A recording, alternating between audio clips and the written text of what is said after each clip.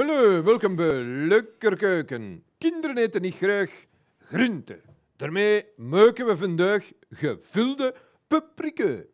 We hebben een paprika en we vullen hem met een surprise. Zie is u plezant, smeukelijk.